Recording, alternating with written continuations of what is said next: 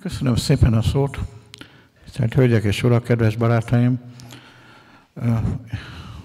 Előre bocsátom, hogy sem a WC-ben nem voltam és nem beszélgettem Szomjas Gyurival, sem, sem arra a mutatványra nem vagyok képes, hogy a kultúra valóságos és virtuális számait konvertáljam elkövetett és el nem követett gyilkosságokra.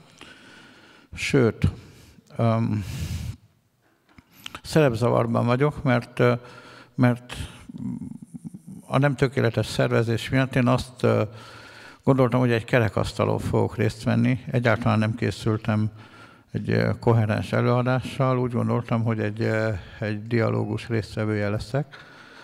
És, és megpróbálom ebben a műfajban egyrészt az elhangzottakat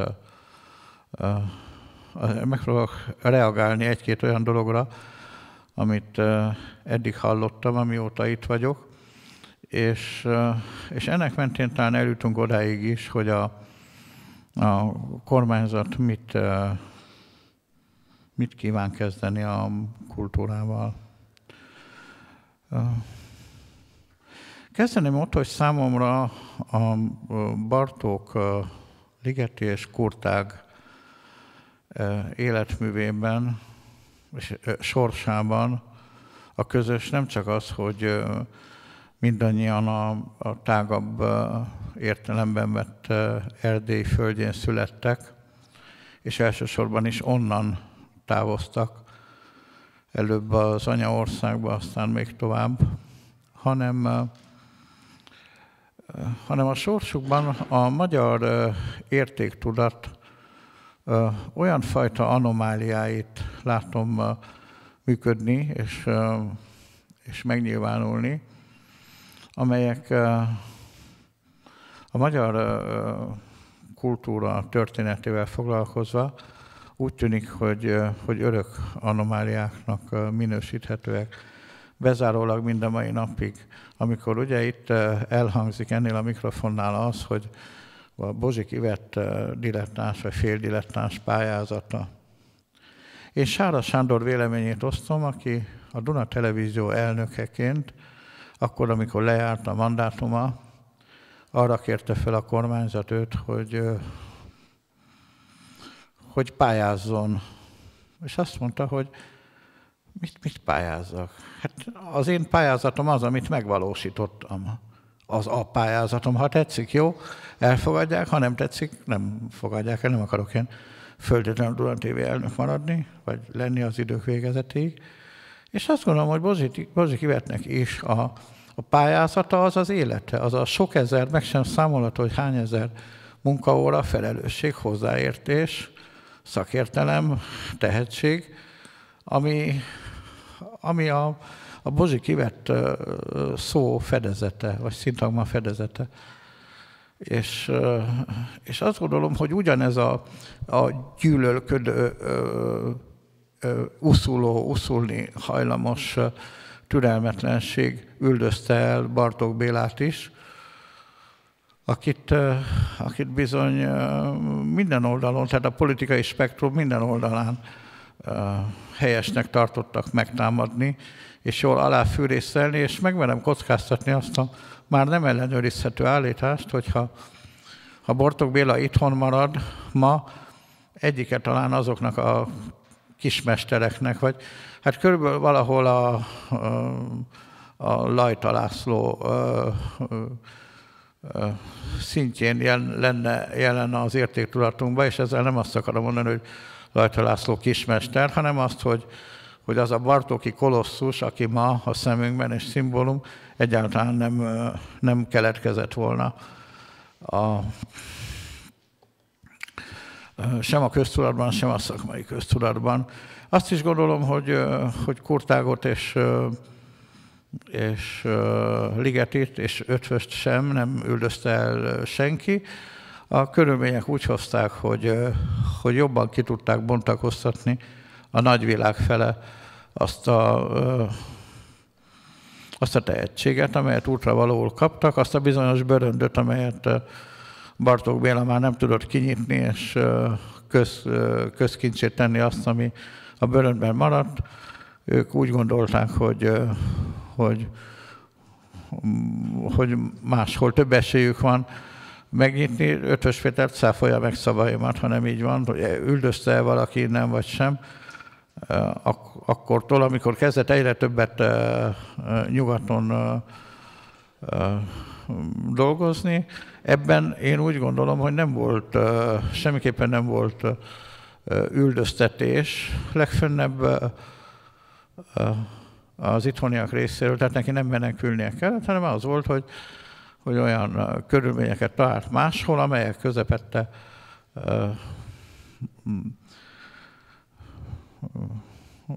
tovább jutott saját művészénye kibontásában. Nos, nem tudom, hány perc áll rendelkezésemre? Egy perc áll még hátra. Mennyi? Egy perc van még Egy. hátra. Mm. Hát akkor, akkor, talán nem is tudom, hogy érdemes-e fölidéznem, hogy attól kezdve, hogy átvettem a kulturális ágazat irányítását a, ezelőtt több mint másfél, majdnem két évvel, egy munkaidőm 99%-át az rabolta el, hogy kétségbe esett intézményvezetők panaszait kellett meghallgatnom, köztük világnagyságokét, amelyek mind úgy kezdődtek, hogy hát ha ez így megy tovább, én bezárom a társulatomat, én bezárom a múzeumomat, feloszlatom a zenekaromat, és a többi, és a többi.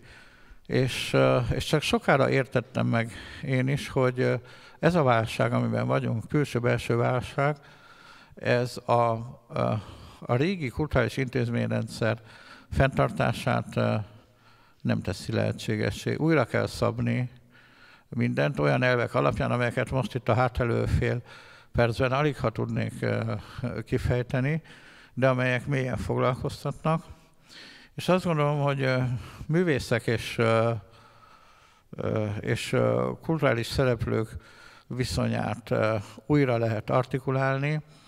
Én ebben nagyon pazar példáját látom annak, amit is Nédberger Ferenc művel, tanítványaival. Én, én szívesen fölterjeszteném őt legközelebb például akármilyen magas állami kitüntetésre, éppen azért, mert mintát látok, modellt abban, amit csinál. Készítettem én egy rövid statisztikát is, miután tudtam, hogy filmes helyre jövök, arra, arra nézve, hogy mennyire fölemelt fővel tekinthetem át azt a rövid karriert, amelyet filmtámogatóként, amelyre filmtámogatóként tekinthetek vissza, úgy értve, hogy vettem magamnak a bátorságot, a legnagyobb ellenszélben és, és sivalkodásban, hogy azt mondjam, hogy én most nem költenék el annyi pénzt, amennyiből egy, egy filmet el lehetne készíteni. Nem állítok föl kuratóriumokat, nem bérelek emeleteket és palotákat, nem, nem fizetek meg ezer embert, hogy vagy hármat sem, hogy, hogy elolvasson forgatókönyveket, én magam ezeket el tudom olvasni, és, és el tudom dönteni, hogy melyik filmek érdemesek Magyarországon az akkor létező tervek közül támogatásra, és kiválasztottam néhányat. Ezen a záró gondolat, bocsánat. Ezen a, kérem? Hogyha ezen a záró gondolat, hogyha szabadnak kérnem majd. Ez a záró gondolat. Jó, akkor csak néhány tényleg slágvort-szerűen. Úgy gondolom, hogy nem kell majd szégyenkeznem azért, hogy, hogy Szabó István az Ajtó című filmjének pénzt adtunk, hogy Vigyánszki Attila a Szarvassá változott fiú című filmjének pénzt adtunk, hogy Szász János a Nagyfüzet című készülő, még el nem kezdett filmjének pénzt adtunk, hogy Kenyeres Bálint filmjének pénzt adtunk, hogy, hogy Szilágyi Andor filmjéhez pénzt szántunk, és kisebb összegben Fekete Ibolya, Deák Krisztina, és Jankovics Marcel, meg, meg a Frigauf Benedek filmjére pénzt szántunk. Itt most tényleg a legutolsó, leggondolatmenet lezáróbb közlés. Ezért a filmért, a Szálnak a Várjak című filmért, én politikailag rettentő sokat nem hogy kockáztattam, hanem, hanem szemreányásokat kaptam.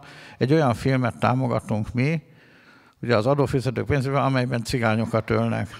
És hát jól tudjuk, hogy ha egy, egy filmben egy cigányt megölnek, ez azt jelenti, hogy, hogy akkor ez törvényszerű, ez azt jelenti, hogy nem sokára minden cigányt meg fognak ölni Magyarországon.